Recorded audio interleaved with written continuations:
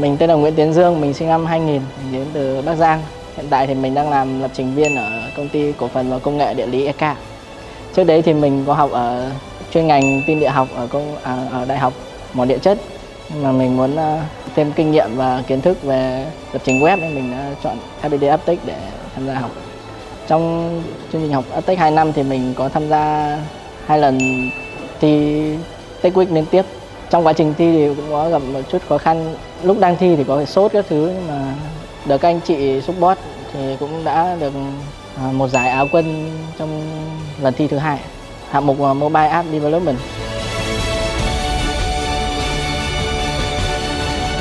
À, mình đã đi thực tập từ kỳ thứ ba của chương trình học 2 năm ATEC à, mình có lời khuyên với các bạn muốn à, đổi ngành nghề là đầu tiên các bạn phải kiên trì à, tự học à, tự tìm tòi và đi thực tập từ sớm để tích lũy kinh nghiệm